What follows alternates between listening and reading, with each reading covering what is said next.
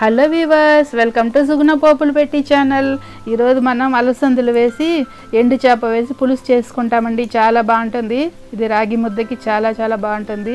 వేడి వేడి అన్నంలోకి బాగుంటుంది. చల్ల అన్నంలోకి బాగుంటుందండి. ఇది ఎట్లా చేయాలని చూస్తామా మరి? ఓకే. ముందు బాండి తీసుకున్నానండి. అందులోకి పోపు దినుసులు వేసుకుంటాము.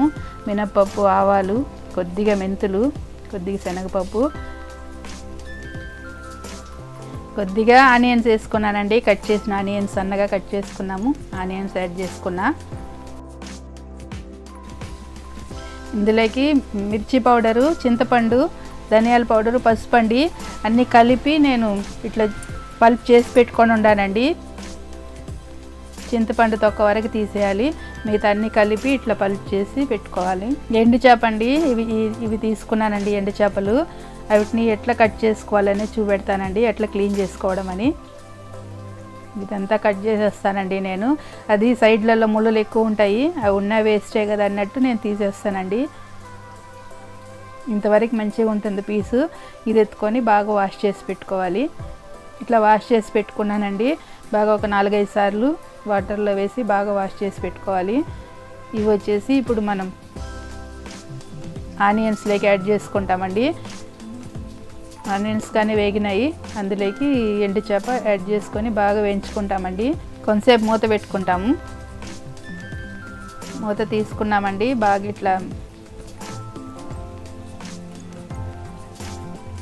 మంచిగా వేగింది.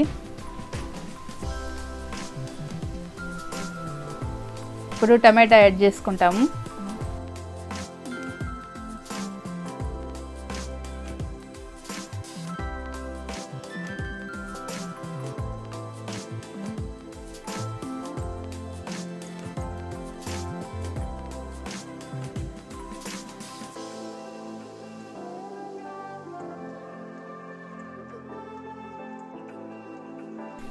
ఇప్పుడు మనం కలిపి పెట్టుకున్న పులుసుని ఇందులోకి యాడ్ చేసుకుంటామండి.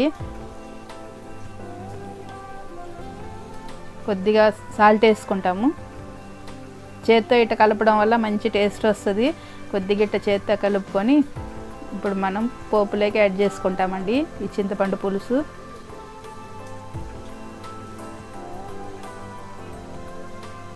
గిన్నెని కడిగి వాటర్ కానీ వేసుకుంటామండి.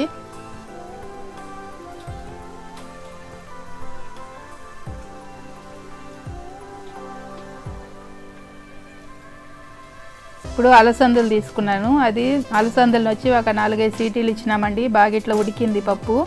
ఇప్పుడు ఈ పప్పుని పులుసులోకి యాడ్ చేసుకుంటాము. మంచిగా ఉడికి ఉండాలండి పులుసులో మనకు ఉడికిన పప్పు వేస్తేనే బాగుంటుంది.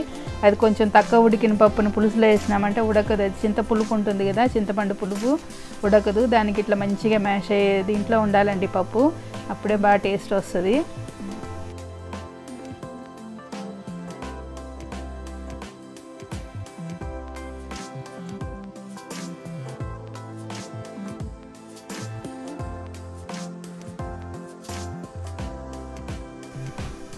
కొద్దిగా సాల్ట్ వేసుకుంటాము.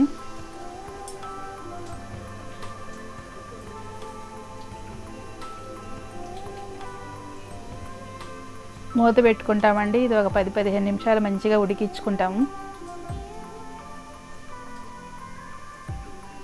బాగా ఉడికిందండి. ఇట్లా బాగా సైడ్స్ కాయలు రావాలి.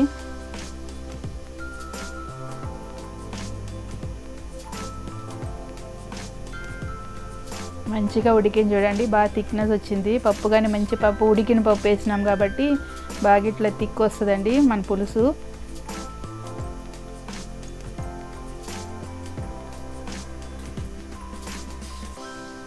ఇప్పుడు కొద్దిగా కరివేపాకు వేసుకుంటాం ఫైనల్ టచ్కి మీరు ట్రై చేయండి. మన ఛానల్ని సబ్స్క్రైబ్ చేసుకోండి. లైక్ చేయండి. ఫ్రెండ్స్కి షేర్ చేయండి. Okay viewers bye